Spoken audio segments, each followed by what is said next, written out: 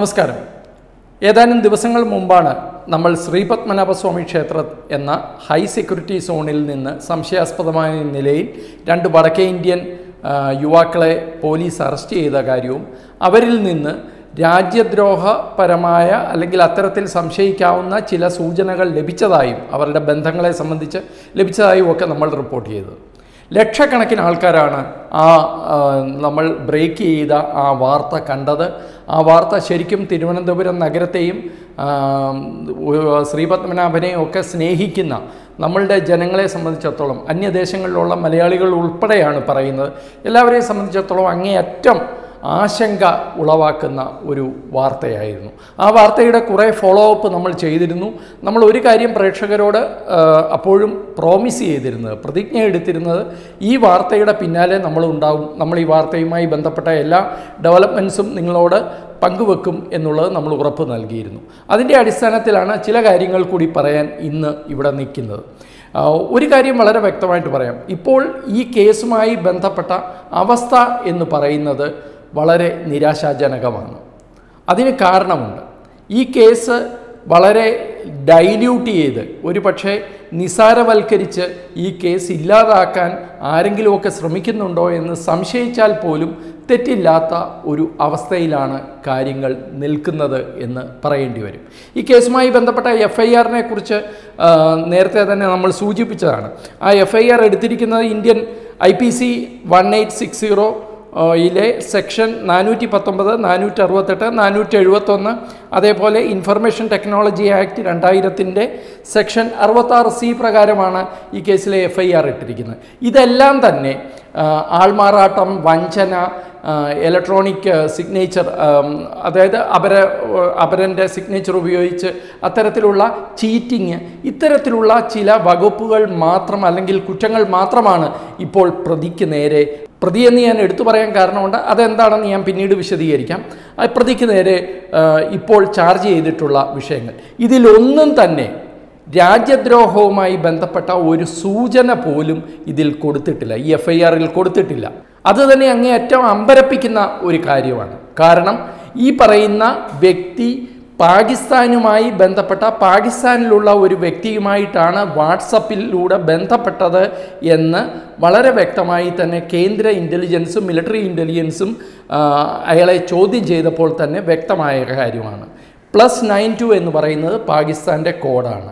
എന്ന് മാത്രമല്ല ഇയാൾ ബന്ധപ്പെട്ടു എന്ന് പറയുന്ന അതായത് ഇവിടുത്തെ ഒരു സാധാരണക്കാരനായ തികച്ചും നിരപരാധിയായ ശ്രീകുമാരൻ നായർ എന്ന് പറയുന്ന വ്യക്തിയുടെ ഫോൺ ഉപയോഗിച്ച് എടുത്ത വാട്സപ്പ്. ആ വാട്സപ്പ് ശ്രീകുമാരൻ നായരുടെ പേരിലുള്ള വാട്സപ്പാണ് ഇവൻ ഉപയോഗിക്കുന്നത്. ആരെ? ഈ മുഹമ്മദ് ഹസൻ എന്ന് പറയുന്ന നോർത്ത് ഇന്ത്യക്കാരനായ യു പി സ്വദേശി റാംപൂർ സ്വദേശിയായ വ്യക്തി ഉപയോഗിക്കുന്നത്. ആ വാട്സപ്പ് ഉപയോഗിച്ചാണ് ഇയാൾ പാകിസ്ഥാനിലുള്ള ഒരാളുമായി ചാറ്റിംഗ് നടത്തിയത്. ആ വാട്സപ്പിലെ മറ്റേയാളുടെ വാട്സപ്പിലെ ഡി പി എന്ന് പറയുന്നത് പാകിസ്ഥാൻ സൈന്യത്തിന്റെ ഡി പി ആണ്. പക്ഷേ എഫ് ഐ ആർ നോക്കിയാൽ ഈ കാര്യങ്ങൾ ഒന്നും തന്നെ കാണാൻ സാധിക്കില്ല. എഫ് ഐ ആർ നോക്കിയാൽ പറയുന്നത് ആയുധധാരികളുടെ ഒരു ചിത്രവും അന്യഭാഷയിലെ എഴുത്തും എന്നാണ്. ഒരു പക്ഷേ പിന്നീട് പോലീസ് അത് അന്വേഷിച്ചിട്ടുണ്ടോ എന്ന് എനിക്കറിയില്ല. എന്തായാലും എന്നെ സംബന്ധിച്ചിടത്തോളം അത് പാകിസ്ഥാൻ സൈന്യത്തിന്റെ ചിത്രമാണ് എന്നും അതിൽ എഴുതിയിരിക്കുന്നത് അന്യഭാഷയൊന്നുമല്ല ഇന്ത്യൻ ഭാഷ തന്നെയാണ് ഉറുദു ആണ് ഉറുദുവിൽ എഴുതിയിരിക്കുന്നത് ഈ സൈന്യത്തെ എവിടെ കണ്ടാലും നിങ്ങൾ അവർക്ക് വേണ്ടി പ്രാർത്ഥിക്കണം. കാരണം അവർ ഇസ്ലാമിന്റെ നല്ല നാളേക്ക് വേണ്ടി അവരുടെ ഇന്നത്തെ ജീവൻ ബലിയൊടുക്കുന്നവരാണ് എന്നാണ് അതിൽ വ്യക്തമായിട്ട് എഴുതിയിരിക്കുന്നത്. ഇത് തപ്പിയെടുക്കാൻ എനിക്ക് അരമണിക്കൂർ മാത്രമാണ് സമയം വേണ്ടി വന്നത്. കാരണം അന്യഭാഷയൊന്നുമല്ല. ഇന്ത്യൻ ഭാഷയാണ് ഉറുദുവാണ് എല്ലാവർക്കും അറിയുന്ന ഭാഷയാണ് ഇവിടെ പല ആൾക്കാർക്കും. ചിത്രം ഏതാണ് എന്ന് ഗൂഗിളിലൊന്ന് സെർച്ച് ചെയ്താൽ നമുക്ക് കിട്ടുന്നതേ ഉള്ളൂ. അത് പാകിസ്ഥാൻ ആർമിയുടെ ചിത്രമാണ്. ഇതൊക്കെ ഉണ്ടായിട്ടും ഈ പറയുന്ന ആംഗിൾ ഒന്നും തന്നെ ആരും അന്വേഷിച്ചിട്ടില്ല. വെറും ചീറ്റിംഗ് കേസായി ഇതിനെ കണക്കാക്കിയാണ് അന്വേഷണം കേരള പോലീസ് മുമ്പോട്ട് കൊണ്ടുപോകുന്നത് എങ്കിൽ അങ്ങേയറ്റം നിരാശാജനകമാണ് കാര്യങ്ങൾ. രണ്ടാമത്തെ കാര്യം അതിലും ഞെട്ടിക്കുന്നതാണ്. ഇങ്ങനെ ഒരു കേസിൽ നാട്ടുകാരിടപെട്ടാണ് ഈ രണ്ടു പേരെ പോലീസിൽ ഏൽപ്പിച്ചതെങ്കിലും ഇതിലെ രണ്ടാമത്തെ ആൾ ഷാറൂഖ് അലി എന്ന് പറയുന്ന റാംപൂർ നിവാസിയായ രണ്ടാമത്തെ ആളെ പോലീസ് വളരെ പെട്ടെന്ന് തന്നെ അയാളെ മോചിപ്പിച്ചു. അയാൾക്ക് ഇതുമായി യാതൊരു ബന്ധവുമില്ല എന്ന് കേരള പോലീസ് ഏതാണ്ട് തീരുമാനിച്ച മട്ടാണ്. ഇത്തരം വളരെ പ്രധാനപ്പെട്ട ഒരു വിഷയം ഉണ്ടായിട്ട് പോലും ഇങ്ങനെ ഒരു ആംഗിൾ ഉണ്ടായിട്ട് പോലും അതിൽ വേണ്ടത്ര അന്വേഷണം നടത്താനുള്ള സമയം പോലും ഉണ്ടായില്ല ഇയാളെ മോചിപ്പിക്കാൻ. അത് എന്തുകൊണ്ടാണ് ഇയാളെ ഇത്ര പെട്ടെന്ന് മോചിപ്പിക്കാൻ സാധിച്ചത്? കേന്ദ്ര ഇന്റലിജൻസും മിലിറ്ററി ഇന്റലിജൻസും ഒക്കെ വന്ന് ചോദ്യം ചെയ്ത ശേഷവും അവരുടെ ചോദ്യം ചെയ്യലിന്റെ റിസൾട്ട് റാംപൂരിലും യു പി പോലീസുമായി ബന്ധപ്പെടാം. ഇവർക്ക് കൂടുതൽ അന്വേഷണം നടത്താം.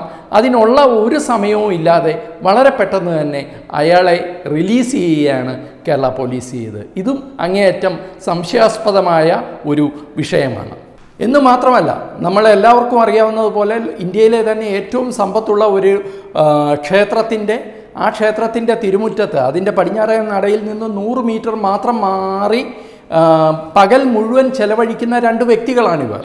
എന്നിട്ട് പോലും അവരെക്കുറിച്ച് കാര്യമായ അന്വേഷണം നടത്താതെ അല്ലെങ്കിൽ അതിലൊരാൾ നിരപരാധിയാണ് എന്ന് പെട്ടെന്ന് തന്നെ കണ്ടെത്തി അയാളെ മോചിപ്പിച്ചതിന്റെ പിന്നിലെ ലോജിക്ക് ശരിക്കും മനസ്സിലാവുന്നില്ല. വേറെ ആരായാലും ഉടൻ യു പി പോലീസുമായി ബന്ധപ്പെട്ടിട്ട് യു പി പോലീസിൽ നിന്ന് ഇയാളുമായി ബന്ധപ്പെട്ട കൂടുതൽ വിവരങ്ങൾ ശേഖരിച്ച് ഇയാൾ നിരപരാധിയാണ് എന്ന് ഉറപ്പിച്ചിട്ടാണ് ഇത് ചെയ്യുന്നതെങ്കിൽ അതിനുള്ള സമയം പോലും എടുത്തതായിട്ടോ അല്ലെങ്കിൽ കേന്ദ്ര ഞാൻ അനൗദ്യോഗികമായി പറയുകയാണ് പക്ഷേ കേന്ദ്ര ഏജൻസികളിൽ പോലും ഈ രണ്ടാമത്തെ ആളെ ഷാറൂഖ് അലി എന്ന് പറയുന്ന രണ്ടാമത്തെ ആളെ വിട്ട കാര്യത്തിൽ അത്ര അവർക്കത്ര അവർ അതിൽ തൃപ്തിയില്ല. കേരള പോലീസിന്റെ ആ ഒരു നടപടിയിൽ തൃപ്തിയില്ല എന്നാണ് ഞാൻ മനസ്സിലാക്കുന്നത്. ഇതാണ് ഇതുമായി ബന്ധപ്പെട്ട രണ്ടാമത്തെ ഏറ്റവും പ്രധാനപ്പെട്ട കാര്യം. മൂന്നാമത്തെ ഒരു കാര്യം ഇത് ഈ വിഷയത്തിൽ ഒന്നുകൂടി ഞെട്ടിപ്പിക്കുന്നതാണ് എന്ന് പറയേണ്ടി വരും. ഈ കടയുടമയായിട്ടാണ് ഈ ഷാരൂഖ് അലിയെ അവതരിപ്പിക്കുന്നതെങ്കിലും യഥാർത്ഥത്തിൽ കടയുടമ ഷാരൂഖ് അലി അല്ല എന്നുള്ളതാണ്. ഞാൻ മനസ്സിലാക്കുന്ന അനുസരിച്ച് ഒരു പക്ഷേ ഈ കേസുമായി ബന്ധപ്പെട്ട കൂടുതൽ അന്വേഷണങ്ങൾ കേരള പോലീസും മറ്റുള്ള ഏജൻസികളും നടത്തുന്നുണ്ടെങ്കിൽ അവർക്ക് കൂടുതൽ ബുദ്ധിമുട്ടുണ്ടാക്കാതിരിക്കാൻ വേണ്ടി മാത്രമാണ് ഇതുമായി ബന്ധപ്പെട്ട വിവരങ്ങൾ പ്രേക്ഷകരുടെ മുമ്പിൽ ചില കാര്യങ്ങളൊക്കെ നമ്മൾ ഇപ്പോഴും തുറന്നു പറയാത്തത്. പക്ഷേ ഞാൻ മനസ്സിലാക്കുന്നതനുസരിച്ച് ഈ പറയുന്ന ഷാറൂഖ് അലി അല്ല ഈ കടയുടമ ആ കടയുടമയ്ക്ക് കേരള ഈ പറയുന്ന ശ്രീപത്മനാഭസ്വാമി ക്ഷേത്രവുമായി ബന്ധമുള്ള ഒരു വ്യക്തി തന്നെയാണ്. അയാൾ മറിച്ചു കൊടുത്തതോ സബ്ലെറ്റ് ചെയ്തതോ ആയ കടയാണ് ഷാറൂഖ് അലി നടത്തുന്നത്. ഇത് അങ്ങേയറ്റം ഗുരുതരമായ മൂന്നാമത്തെ വിഷയമാണ്. ഞങ്ങളെ സംബന്ധിച്ചിടത്തോളം ഒരു കാര്യം വളരെ വ്യക്തമാണ്. ഈ കേസ് കൃത്യമായി പോലീസും കേന്ദ്ര ഏജൻസികളും അന്വേഷിക്കുകയും ഈ കേസിൽ വളരെ കൃത്യമായ നടപടികൾ ഉണ്ടാകുകയും വേണം എന്നുള്ളത് മാത്രമാണ് ഞങ്ങളുടെ ആഗ്രഹം. അതുകൊണ്ട് തന്നെയാണ് ഈ കേസിന്റെ അന്വേഷണവുമായി ബന്ധപ്പെട്ട എന്തെങ്കിലും തടസ്സമോ അല്ലെങ്കിൽ ബുദ്ധിമുട്ടുകളോ ഉണ്ടാകാതിരിക്കാനാണ് ഈ പറയുന്ന വ്യക്തിയുടെ ചിത്രം സഹിതം ഞങ്ങളുടെ കയ്യിലുണ്ടെങ്കിലും ഞങ്ങളതിപ്പോൾ റിലീസ് ചെയ്യാത്തത്. വേറെ ഏത് കേസിൽ ഉൾപ്പെട്ട ആൾക്കാരുടെയും ചിത്രങ്ങൾ വളരെ ഉത്സാഹത്തോടു കൂടി ജനങ്ങളുടെ മുമ്പിൽ കാണിക്കുന്ന പോലീസ് ഈ വിഷയത്തിൽ അത്തരം കാര്യങ്ങളൊന്നും ചെയ്തിട്ടില്ല എന്നുള്ളതും നിങ്ങൾ ശ്രദ്ധിക്കണം. F I R public copy പോലും സിറ്റിസൺ കോപ്പി പോലും ഞങ്ങൾക്ക് ലഭിക്കാൻ അല്പം ബുദ്ധിമുട്ടേണ്ടി വന്നു. അത് അത് എന്തുകൊണ്ടാണ് കേരള പോലീസ് ഇങ്ങനെ ഒരു വിഷയത്തിൽ ഇത്രയും രഹസ്യാത്മകത കൊണ്ട് നടക്കുന്നത് അല്ലെങ്കിൽ രഹസ്യാത്മകത പാലിക്കുന്നത് എന്നുള്ളതിന് ഞങ്ങൾക്ക് ഇതുവരെ ഉത്തരമില്ല. എന്തായാലും നമ്മളെ സംബന്ധിച്ചിടത്തോളം ഇത് ശ്രീപത്മനാഭസ്വാമി ക്ഷേത്രത്തിന്റെ സുരക്ഷയുടെ വിഷയമാണ്. ഇത് തിരുവനന്തപുരം നഗരത്തിന്റെ മാത്രമല്ല കേരളത്തിന്റെ വിഷയമാണ്.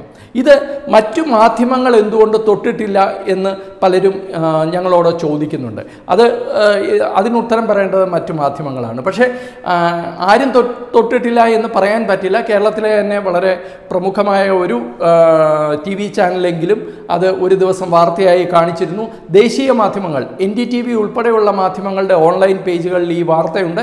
പക്ഷേ അവിടെയെല്ലാം ചീറ്റിങ്ങുമായി ബന്ധപ്പെട്ട വിഷയം മാത്രമാണ് പറഞ്ഞിരിക്കുന്നത്. ഈ വ്യക്തി ഈ പറയുന്ന മുഹമ്മദ് ഹസൻ എന്ന് പറയുന്ന യു പിക്കാരനായ വ്യക്തി ജൂൺ മാസത്തിൽ മാത്രം കേരളത്തിൽ എത്തിയാണ് ഇയാൾ ഇതിനു മുമ്പ് ഇവിടെ എന്ത് അവിടെ എന്ത് ചെയ്യുകയായിരുന്നു? ഇയാളുടെ ബാക്ക്ഗ്രൗണ്ട് എന്താണ് എന്നൊന്നും നമുക്കറിയില്ല. ഈ വ്യക്തി പാകിസ്ഥാനുമായി ബന്ധപ്പെട്ട എന്താണ് അല്ലെങ്കിൽ അതുമായി ബന്ധപ്പെട്ട വിഷയങ്ങളൊന്നും ഈ പറയുന്ന വാർത്തകളിൽ ഒന്നും ഇല്ല. ഇതിപ്പോഴും ഒരു ചീറ്റിംഗ് കേസ് മാത്രമാണ്. അപ്പോൾ അങ്ങനെ ഒരു അവസരത്തിൽ മാധ്യമങ്ങൾ എന്തുകൊണ്ട് ഇത് തൊടുന്നില്ല അല്ലെങ്കിൽ ഇതുമായി ബന്ധപ്പെട്ട വാർത്തകൾ എടുക്കുന്നില്ല എന്നുള്ളതിന് എനിക്ക് ഉത്തരമില്ല. അത് വളരെ സ്വാഭാവികമാണ് കേരളത്തിലെ അന്തരീക്ഷത്തിലെന്നേ എനിക്ക് പറയാനുള്ളൂ. രണ്ടായിരത്തി പതിനഞ്ച് ജൂണിൽ കേരളത്തിൽ നിന്നുള്ള പാലക്കാട്ട് നിന്നുള്ള അബു താഹിർ എന്ന വ്യക്തി കേരളത്തിൽ നിന്ന് അയാൾ ഒരു മാധ്യമപ്രവർത്തകൻ കൂടിയായിരുന്നു.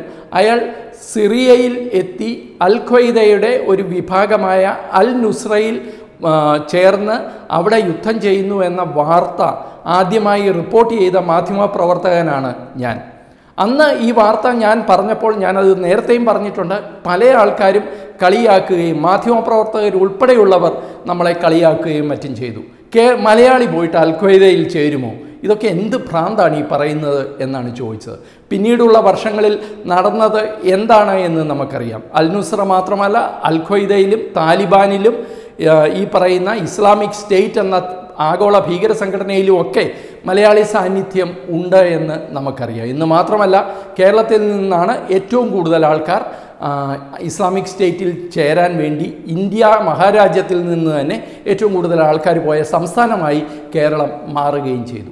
അപ്പോൾ ഇതൊക്കെ തുടക്കത്തിൽ ഇതെല്ലാം വളരെ എക്സാഗ്രേറ്റഡ് ആയിട്ട് തോന്നും. പക്ഷേ ഇവിടുത്തെ അപകടം അതല്ല. ഇത്ര കൃത്യമായ തെളിവോടുകൂടി ഒരാളെ പിടിച്ചിട്ടും അത് വെറും ഒരു ചീറ്റിംഗ് കേസായി മാറുകയാണെങ്കിൽ അത് കേരളത്തിന്റെ സുരക്ഷയെ സംബന്ധിച്ച് കേരളത്തിന്റെ ഭാവിയെ സംബന്ധിച്ച് ഒരു വലിയ ചോദ്യചിഹ്നമായി പിന്നീട് ഉയർത്തപ്പെടും എന്നുള്ള ഒരു മുന്നറിയിപ്പ് മാത്രമാണ് ഞങ്ങൾ ഇപ്പോൾ നൽകാൻ ശ്രമിക്കുന്നത്. തീർച്ചയായിട്ടും ഈ വാർത്തയുമായി ബന്ധപ്പെട്ട കൂടുതൽ വിവരങ്ങൾ ഇനി വരുന്ന ദിവസങ്ങളിൽ പ്രേക്ഷകരുമായി പങ്കുവെക്കും. നമസ്കാരം.